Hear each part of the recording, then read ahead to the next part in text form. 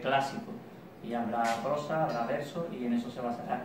En cuanto al contenido, pues evidentemente partiré de mis vivencias, de las vivencias de mis hermandades y, y no solo dentro de las propias juntas de gobierno o en los cultos, también tengo mi faceta de cargador, esa faceta estará ahí, porque es algo que vivo intensamente cada Semana Santa y estará, por supuesto.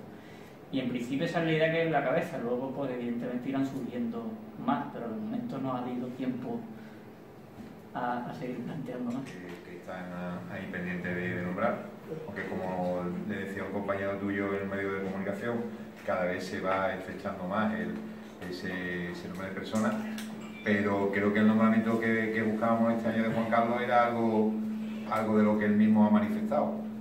¿Dónde estaba esa manifestación en ese componente de Juan Carlos?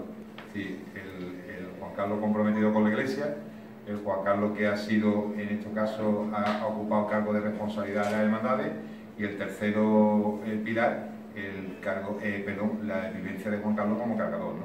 Es decir, que poco podemos decir, o pocos pregoneros que hayan ocupado el atil que tengan esos tres pilares. ¿no?